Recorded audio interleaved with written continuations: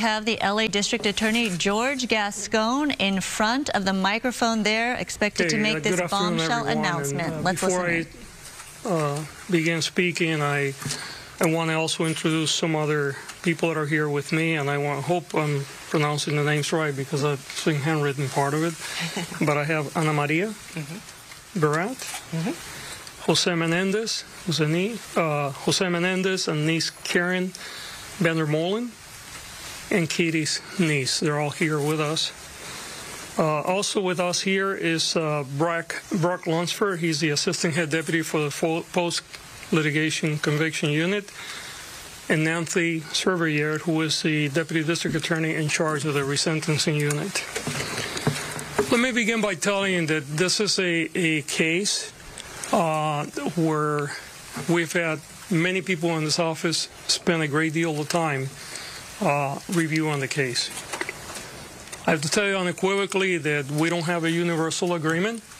Uh, there are people in the office uh, that strongly believe that the Menendez brothers should stay in prison the rest of their life, and they do not believe that they were molested.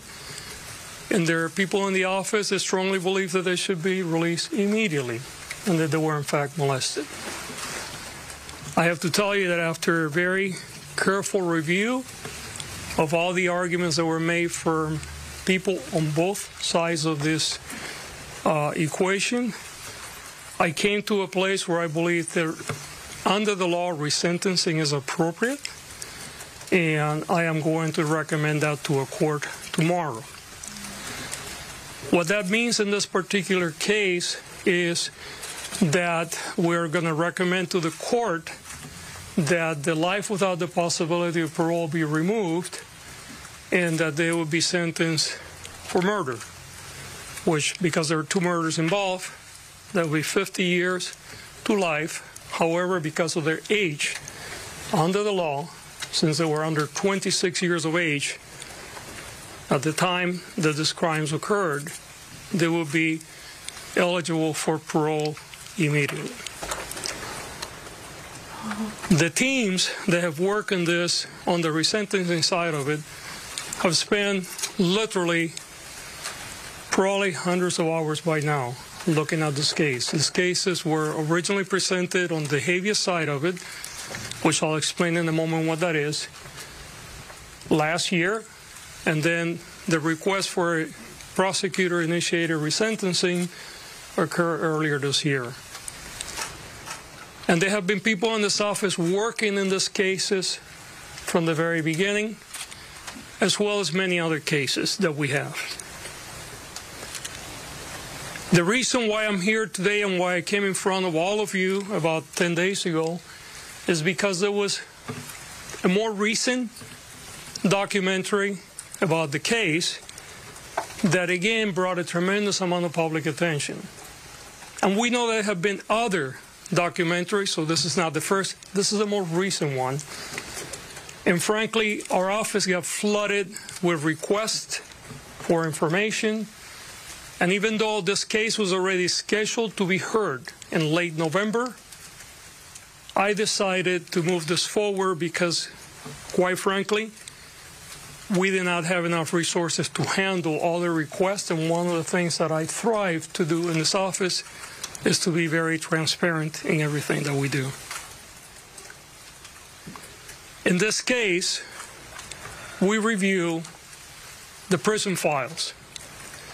And you have to understand that the way the process works, when you're talking about a sentence, a resentencing under the law, it really focuses not necessarily on what the original crimes were, but it focuses on has the person been rehabilitated, number one, and number two, can they be released safely into their community? Under that rubric, since I've been in office, we have resentenced over 300 people, including 28 for murder. Only four have reoffended. If that was a regular recidivism rate in this country, we would be the safest nation in the world. but we know that it's not. In fact, somewhere between 40 and 50 percent of the people that go to prison reoffend and get rearrested. And that's why we have so many problems.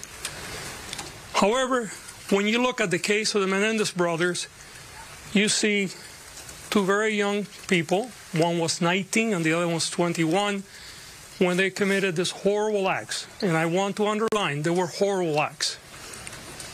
There is no excuse for murder. And I will never imply that what we're doing here is to excuse that behavior. Because even if you get abused, the right path is to call the police, seek help. But I understand also how sometimes people get desperate. We often see women, for instance, that have been battered for years, and sometimes they will murder their abuser out of desperation. And I do believe that the brothers were subjected to a tremendous amount of dysfunction in the home and molestation. But they went to prison for life without the possibility of parole, which meant that certainly under the law at that time, they had no hopes of ever getting out. They could have done what many other people do, which is basically said, you know what, I'm here for the rest of my life, so I'm going to do whatever. I'm going to misbehave, I'm going to join gangs, uh, I'm going to live the life of the prison. But they never did that. To the contrary, even though they didn't think that they would ever be let free, they engage in a different journey a journey of redemption and a journey of rehabilitation. And often the people that begin their journey of rehabilitation and redemption in prison is often very internal and what they do, and, and one of our lawyers pointed out this today, is usually the path is people try to further their education, do things for self-improvement, which the brothers have done, by the way. But it's more unique or more less usual, I guess, when people not only do that, but they also begin to engage in ways to make life for others better. And in this case, the brothers have been doing so for a very long time. Creating groups to deal with how to address untreated trauma. Creating groups to deal with other inmates that have physical disabilities and may be treated differently. Even in one case, Lyle negotiating for other inmates as to the conditions that they live under during prison. And all this was done by two young people. Now they're not as young. They had no hopes of ever getting out of prison. They have been in prison for nearly 35 years. I believe that they have paid their debt to society. And the system provides a vehicle for their case to be reviewed by a parole board. And if the parole concurs with my assessment, and it will be their decision, they will be released accordingly. I must underline, however, this case will be filed in court tomorrow. The final Decision will be made by the judge. Court has to agree with my conclusion that they deserve to be resentenced. It is very possible that there may be members of this office that will be present in court opposing their resentencing. And they have a right to do so. And we encourage those that disagree with us to speak, and the court is the appropriate place to do it. We certainly feel very, we're very sure not only that the brothers have rehabilitated and that they will be safe to be reintegrated in our society, but that they have paid their dues, not only for the crimes that they committed, but because of all the other things they have done to improve the life of so many others. So, again, we will be filing for resentencing tomorrow.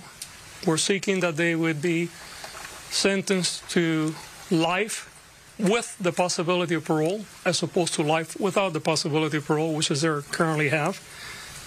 That means that they would have 50 years to life because there were two murders.